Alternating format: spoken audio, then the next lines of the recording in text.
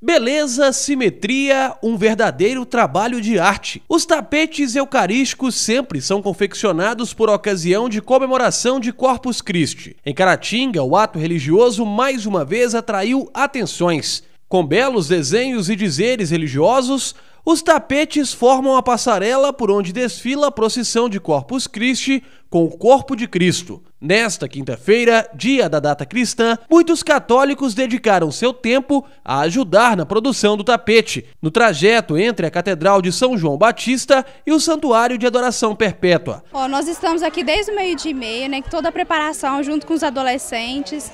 E, então, assim, é um trabalho muito gratificante para nós, claro, tios, né, e para todos, né, porque é muito importante é, você dedicar esse tempo ao né, nosso Senhor e foi muito importante para nós. Então nós estamos aqui desde voz de meio-dia, meio-dia e meio, preparando as, as cores.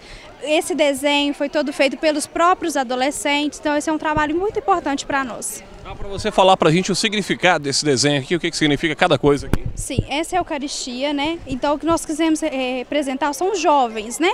Os nossos adolescentes voltados à Eucaristia, né? Então ele é, é o EAC, que é o Encontro de Adolescentes com Cristo. Esse é o significado muito importante para nós. Gente de diferentes pontos da cidade contribui todos os anos no trabalho de confecção do tapete eucarístico. Lindomar mora no bairro Santa Cruz e participa de movimentos católicos na paróquia da Conceição e também chegou cedo até a área central para ajudar no trabalho. A maioria das pessoas eles já trazem o desenho pronto de casa mas muitos se inspiram no momento em que está acontecendo o tapete.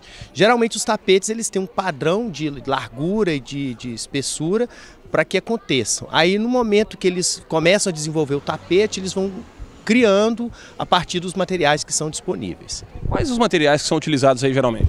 Todos são materiais recicláveis, né? são materiais de, do cotidiano.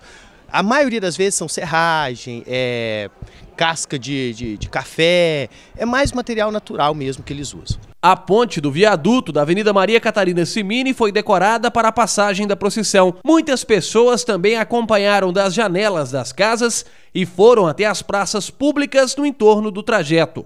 Ao chegar no santuário, foi ministrada uma bênção com os padres e o bispo diocesano.